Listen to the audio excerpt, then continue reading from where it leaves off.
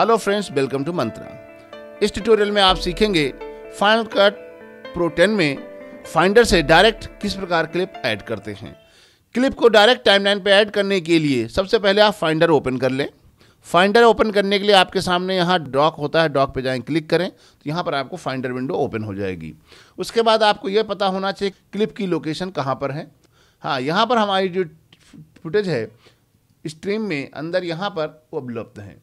यहाँ से आपको, आप पूरी की पूरी क्लिप टाइमलाइन पे ला सकते हैं। यहाँ से एक बात और आपको ध्यान में रखनी होगी, यहाँ से जब आप फाइंडर के थ्रू आप ड्रैग करके टाइमलाइन पे ऐड करते हैं तो आप रेंज सेलेक्ट नहीं कर सकते हैं।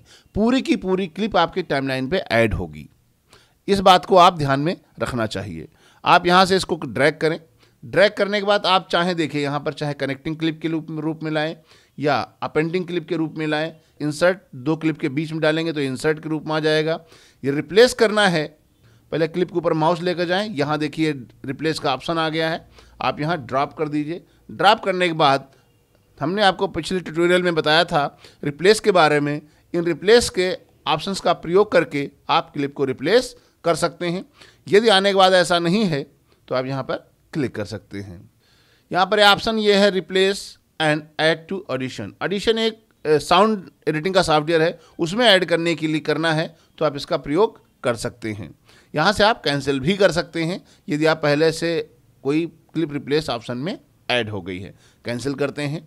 इस प्रकार आप माउस द्वारा ड्रैग करके टाइमलाइन पे क्लिप को ऐड कर सकते हैं। चाहे वो आपकी मीडिया इवेंट ब्राउज़र में हो या फाइंडर में हो। फाइंडर के थ्रू भी वही सारे ऑप्शन प्रयोग होते हैं, जो हमने आपको पिछले इवेंट वाले में बताया था। यहाँ ड्रैग करें और कहीं पर ऐड कर लें।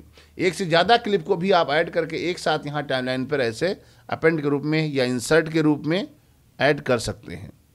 यहाँ तक कि आप रिप्लेस भी कर सकते हैं। एक से अधिक क्लिप को टाइमलाइन पर ऐड किया जा सकता है। इसी प्रकार यहाँ से भी आप एक से ज़्यादा क्लिप को ऐसे ड्रैग करके माउस पे एक साथ अपेंड के रूप में, या इंसर्ट के रूप में, या रिप्लेस के रूप में ला सकते हैं। इस प्रकार आप माउस द्वारा ड्रैग करके टाइमलाइन पे क्लिप ऐड कर सकते हैं। Thank you for watching